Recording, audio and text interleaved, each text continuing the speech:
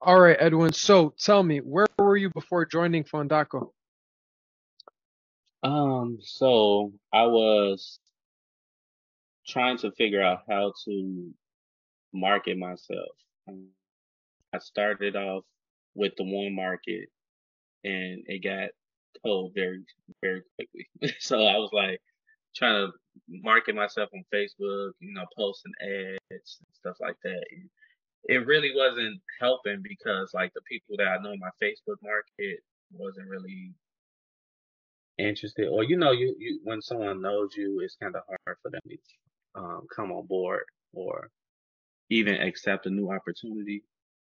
Um, Yeah. so you know i was able to get a couple family members here and there so i decided i need to find something new. I need to find a different way to market myself or to have clients come to me rather than me going to find them so that's when i came upon Fondako and i decided let me give this a try see if this is going to work for me okay. That's interesting, man. And and exa- a lot of our clients that get into the program, they start off with, okay, my uncle Barry really is tired of hearing about ways to make money for me. So what's it like reaching out to your cold market and, you know, being placed as the authority already, the expert in your field? So, I mean, after joining Fondako, what's your experience been like thus far, you know, throughout the process up until like, what would you say about the whole program in general?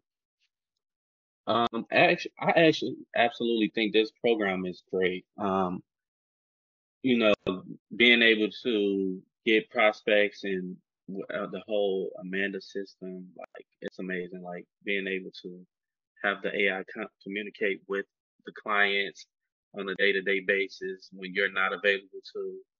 Um, and then just calendar booking, everything is structured and organized, so it helps makes everything because I'm unstructured, I'm organized profession like professionally. So I need everything organized. So if it's not organized, I'm gonna have a chaotic life. Like it's gonna be chaotic for me. So I like that it's structured, everything is organized. You can move and swap the appointments or the leads to where you need them to be. Um, I'm still working on the the tracking system.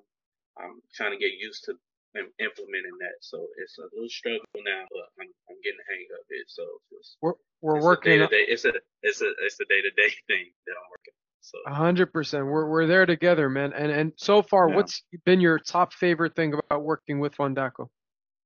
Um, definitely the CSM. Yeah, all the coaching, all the coaching. You know that helps. I love all the uh, calls, the weekly calls from the you know Sylvain till um, Pavel.